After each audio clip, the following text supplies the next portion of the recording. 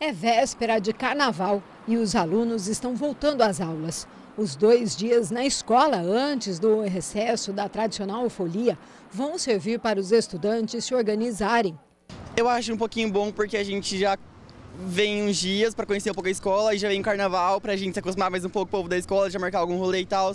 Aí depois a gente já vem para se acostumar mesmo com a escola e ficar até final do ano. É ruim, né? Tem que esperar passar o carnaval. Animada para voltar para aula? Aí eu tô.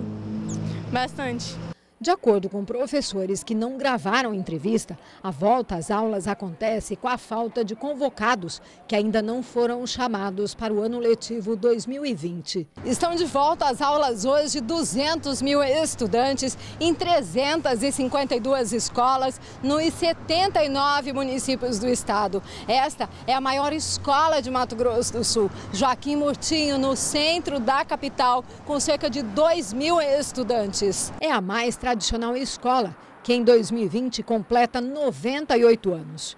No entorno da Joaquim Murtinho, hoje teve a volta da fiscalização com drone da Polícia Militar. A gente tem em torno de uma equipe de 10 a 12 policiais fazendo a fiscalização diariamente na entrada e saída de escolas, né? Do modo aleatório, com que todas as escolas sejam atendidas proporcionalmente iguais. Enquanto a polícia monitora o trânsito, a movimentação dos estudantes deixa evidente a falta de uma faixa de pedestres.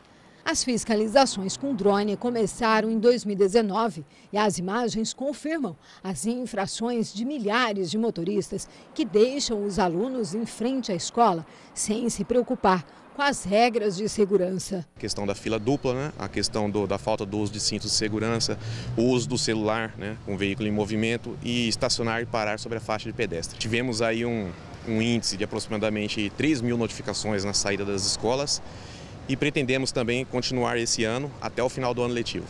De acordo com o governo do estado, 14 milhões de reais foram investidos na compra de mais de 260 mil kits escolares e 513 mil camisetas. Muitos alunos chegaram animados no primeiro dia de aulas, prometendo estudar muito para conseguir bons resultados nos exames que garantem o acesso às universidades. Passar na prova do Enem, conseguir uma nota boa, estudar o máximo que eu puder. Eu pretendo me esforçar ao máximo porque eu quero cursar física e eu quero entrar na federal.